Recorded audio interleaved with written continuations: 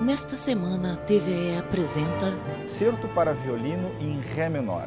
Como solista, a gaúcha Brigitta Caloni, sob regência do maestro alemão Stefan Geiger.